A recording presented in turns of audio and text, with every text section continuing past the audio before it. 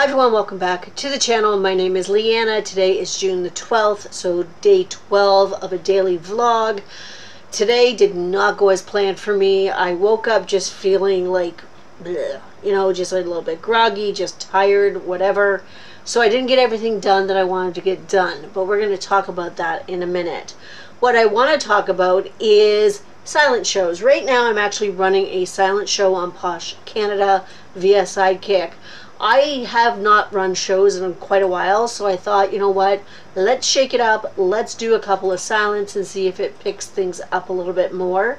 So I've already did one on Posh US today, and now I'm doing one on Posh Canada, which is just something else to do. Because, like I said, I didn't get everything done, what I wanted to do, so I decided this would make up for it. So with silent shows, there is something I do want to talk about, and that is share shows. I have not been a part of a share show. I have not had a share show. I think they're really interesting. They're an interesting concept if you have the time to actually run one or be a part of one. One of the reasons I bring this up is that I had a notification a couple of days ago that somebody had picked two of my items to run in their share show. And I was like, okay, what is up with that? Why did they do that? And what is going on here?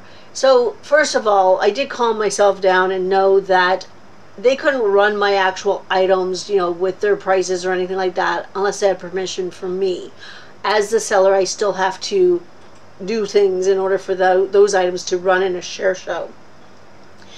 I thought it was a little presumptuous of them to pick a couple of my items, but maybe that is a way that they let people know that they're willing to run other people's items it doesn't happen. I mean, this is the first time it's happened to me, so I'm not mad about it. I did think it was a little presumptuous, but it got me thinking about share shows and wondering if it was a way to get into doing more live shows, getting my items out there, whether or not it was worth it. If anybody out there has had some experience either running a share show or having items in a share show and they want to share that information down below in the comments. I would really appreciate it. I'm thinking of reaching out to a couple of people that I know, especially on Posh US, that do some shows to see if they're willing to run a couple of my items, just to see if it, you know, if it helps at all. At this point in time, I like to just to do different things. I've said this before. Let's try something new. So I'm going to see what happens. I'm also thinking about doing a silent share show just to see if that will help as well. Why not? Let's try it out. But I will keep you posted on whether or not I do that. I need to get more information first. You know, the basics, how do you run one and all that kind of stuff. So, Today did not go as planned. Like I said, I did not get anything photographed or anything listed. I just it was not feeling it.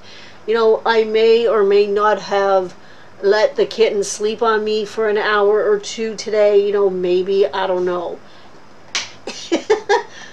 um, right now he's over, he's sitting over here on Paul because he just came up the stairs, which is cool. He's getting along with the other cats okay. My little black cat is a little put out, but the gray one, they've been nose to nose. So they've been doing well. Anyway, so I didn't get anything listed or photographed today, so I decided that I would relist a little bit more. So I relisted between 26 and 29 items. And when I say I relisted, what I mean is I selected, I think I ended up selecting like 26 on Posh Canada, selected them, delisted them, deleted the listing altogether, and I just cross-listed them back from Posh US. This makes them a brand new listing regardless of whenever they were originally listed because it's treated as a brand new listing. And then I did the same for Posh US. I picked, I think I picked 29 for Posh US, delisted it from Posh US, and then relisted from Posh Canada. So for me, that's almost as good as listing something new, considering I just didn't have the gumption to go downstairs and photograph. Just wasn't feeling it today. I did go out and get my groceries done and I did some house stuff, so I was really happy with that. I also popped into my local value, uh, no, wrong store, Mission Thrift Store, and I'm really glad I did. I actually went looking to see if they had anything for the kitten, because, you know, I'm in that mode right now.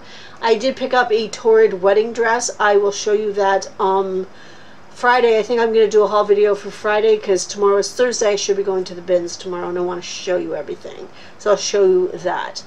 I am running two silent shows. I ran one in Posh US and I'm running one now on Posh Canada. That is really good for me. I'm going to go downstairs and pack my order for tomorrow, my US order.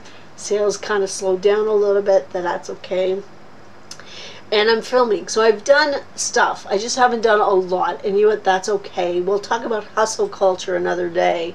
Tomorrow is Thursday.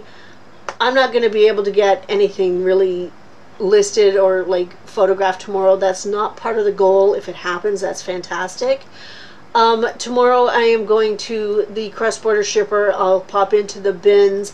I got to go to the gym because I didn't go this morning, so I want to get that done and we'll see how I feel in the afternoon and see what I what else I can get done. I want to do a couple more shows, see if that will help, you know, play with the algorithm at something. And that's what I'm going to get done tomorrow. It's not going to be a huge day because I find do, go, doing the cross-border shipper, because it is an hour drive there and back, does take a little bit out of me. So, you know what? And sourcing is physical and it's, you know, doing stuff. So let's see how I feel. Anyway, short video today because you know what? That's the way it goes sometimes. But that is it for today. I hope everybody has a fantastic Wednesday, and I'll see you tomorrow. Bye.